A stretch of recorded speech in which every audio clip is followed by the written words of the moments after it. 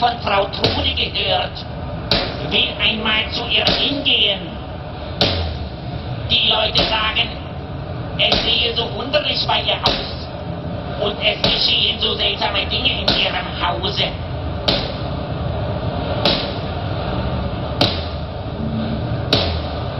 Die Eltern verboten es streng. Sagten, Frau Trude ist eine böse Frau. Und wenn du zu ihr hingehst, so bist du nicht mehr.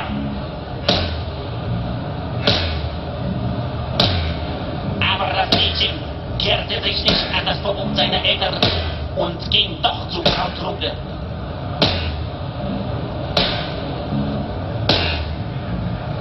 Und als er zu ihr hinkam, fragte Frau Trude, warum bist du so bleich? Es und zitterte am Leibe. Ich habe mich so erschrocken über das, was ich gesehen habe. Was hast du gesehen? Ich sah auf eurer Stiege einen schwarzen Mann. Das war ein Köhler.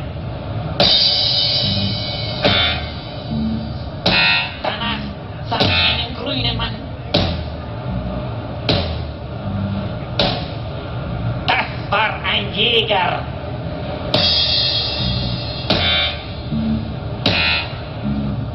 Danach sah ich einen blutroten Mann.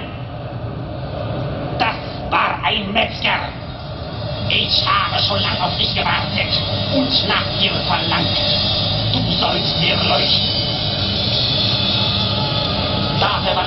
Mädchen in einen Holzblock und warf ins Feuer. Und als er in voller Glut war, setzte sie sich daneben, wärmte sich daran und sprach, das leuchtet einmal hell